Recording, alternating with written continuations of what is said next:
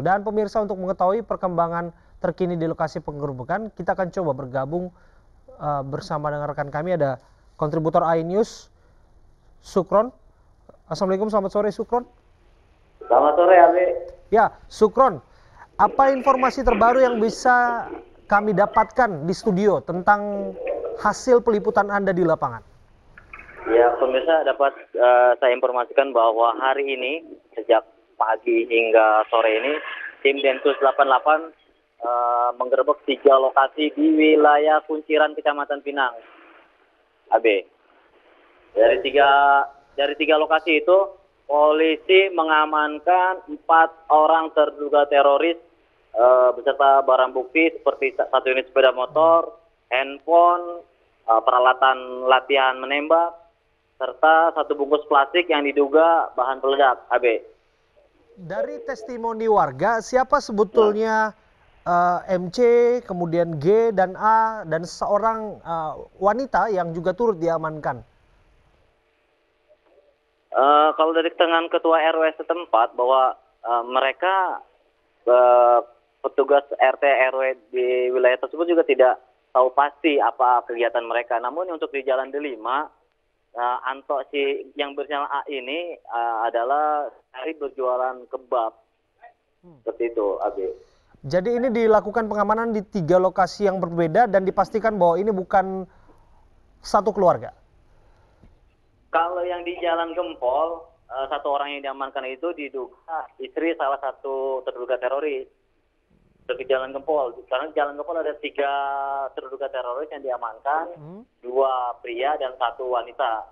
Yang satu wanita itu diduga istri salah satu terduga teroris tersebut. Hmm. Yang kami dapatkan adalah barang bukti yang diamankan sepeda motor, ya. kemudian ya. buku catatan. Ada tidak barang-barang berbahaya yang juga turut diamankan oleh tim Densus 88?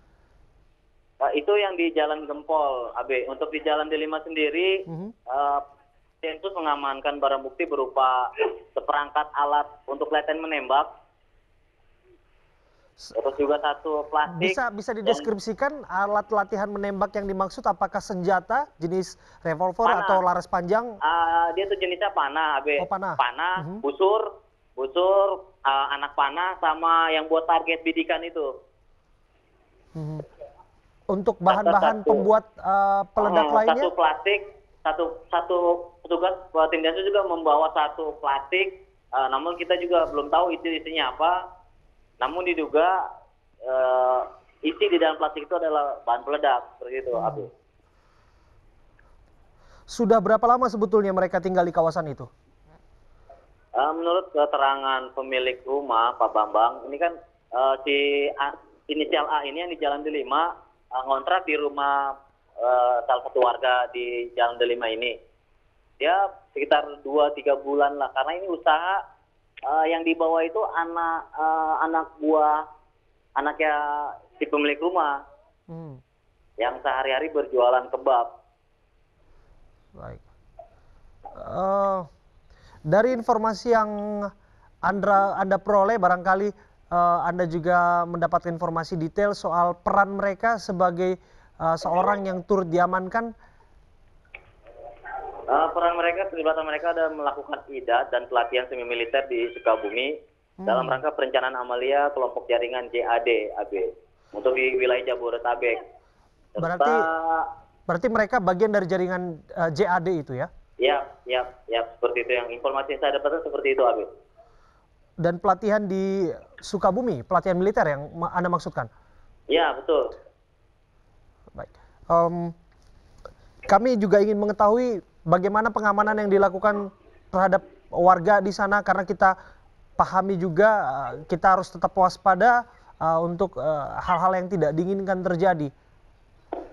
Ya, ketika penggerbekan uh, penggerbekan oleh tim Densus, petugas dari Polres Metro Tangerang bersama Kodim 0506 sudah mensterilkan lokasi radio sekitar 500 sampai 800 meter AB.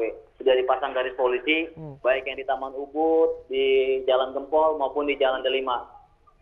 Namun untuk saat ini uh, hanya rumah yang milik terduga teroris saja yang dipasang garis polisi untuk jalannya sendiri sudah dibuka kembali. Berarti saat ini untuk arus lalu lintas sudah bisa dilalui kembali, baik itu dari roda 2 untuk roda 4. Sudah, sudah, sudah, sudah Apa- normal kembali. Apa imbauan dari Kapolres setempat? Eh, Kapolres menghimbau kepada warga, baik tokoh masyarakat, tokoh pemuda, untuk melaporkan berkomunikasi dengan petugas keamanan jika ada tindakan-tindakan warga yang belum dikenal, yang tindakannya mencurigakan, tidak bersosialisasi, bersosialisasi. rencananya juga pihak tersebut akan mengaktifkan kembali pekam, eh, Kambing, kegiatan-kegiatan Kamtipnas seperti itu, Ade.